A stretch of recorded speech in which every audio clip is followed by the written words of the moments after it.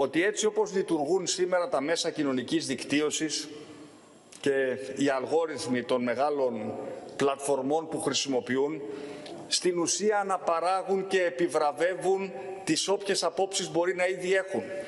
Δημιουργούν στεγανά, στεγανά έντασης, όχι στεγανά διαλόγου. Στεγανά όπου αναφοτροφοδοτούνται τα στερεότυπα τα οποία έχουν. Από τη μία και από την άλλη πλευρά. Και αυτό είναι κακό για τη δημοκρατία μας, είναι κακό για το επίπεδο του διαλόγου μας. Διότι εγκλωβίζονται με αυτόν τον τρόπο οι νέοι στις απόψεις τους χωρίς να αναπτύσσουν την κριτική τους σκέψη, χωρίς να αμφισβητούν αυτό το οποίο βλέπουν, αυτό το οποίο οποιοδήποτε, οποιοδήποτε μπορεί εντός εισαγωγικών να τους σερβίρει.